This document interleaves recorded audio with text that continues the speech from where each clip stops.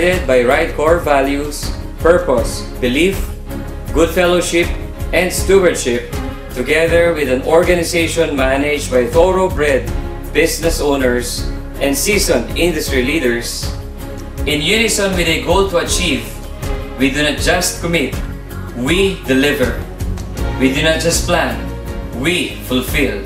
Ladies and gentlemen, this is Royal.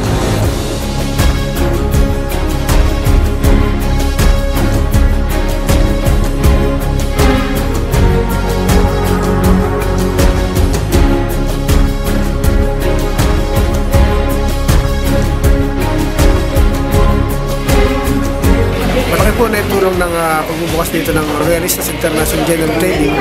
Dito po kasi napapatunayan natin na yung ating negosyo ay pang international na, hindi lang sa Pilipino, kundi sa lahat na po na ibang lahi.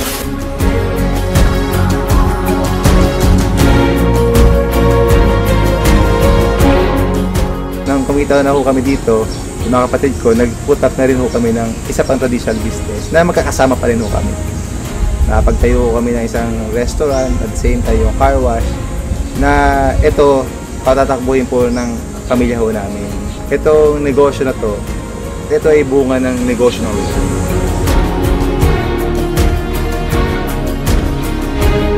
yung mga kapatid ko na hindi talaga hilig sa negosyo, naturuan ko, rin, ko na rin magnegosyo, gumaganda-ganda na rin yung buhay. Parang naaambunan sila kung ano yung biyaya na nakuha ko sa Royal. Talagang napakasaya pala na ikaw yung nagiging instrumento na through Royal, natulungan mo yung ibang tao.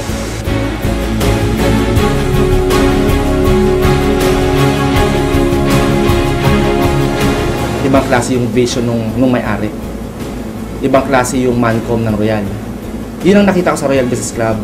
Yung integrity at credibility ng may-ari at ng management. Ibang klase yung determination ng presidente at chairman. So kung determinado yung may-ari, mas kumbaga mahahawak eh.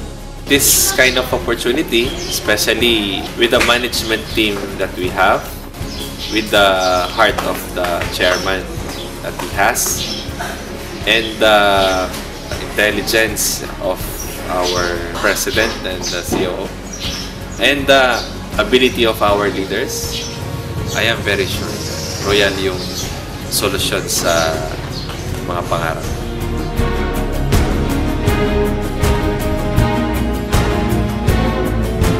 pantay-pantay sa Royal na kahit high school graduate lang po ako, pwede kang maging top earner.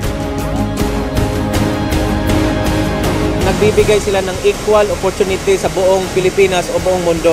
Kaya nararamdaman namin na kami pala, binigyan din ng kahalagahan dito na kahit nasa Mindanao kami, talagang yung Royal, iniisip pa rin kami.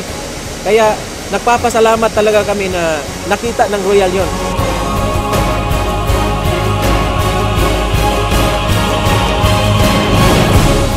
Since the inception of Real, our intention is to lead and set the trend.